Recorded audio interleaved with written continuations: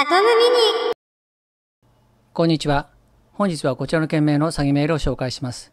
アメリカンエクスプレスご請求金額確定のご案内です。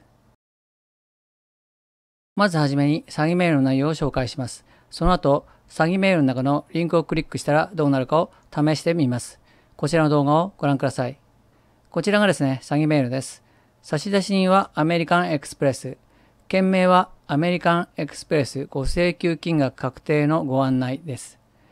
メールの内容ですけれども、平素はアメリカンエクスプレスのカードをご利用いただき誠にありがとうございます。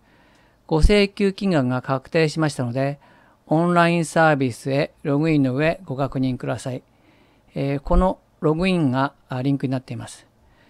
口座振替のお知らせも合わせてご利用ください。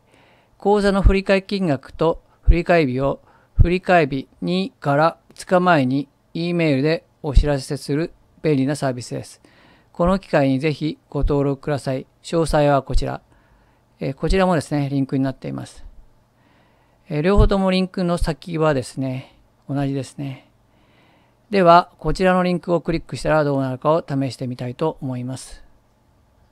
詐欺メールのリンクをクリックしたら、このように表示されました。アメリカンエクスプレスのサイトっぽい偽サイトですね。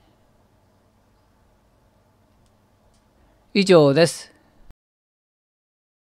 いかがでしたでしょうか？今回の詐欺メールの件名は、アメリカンエクスプレスご請求金額確定のご案内です。今回のメールは、アメリカンエクスプレスを装った詐欺メールです。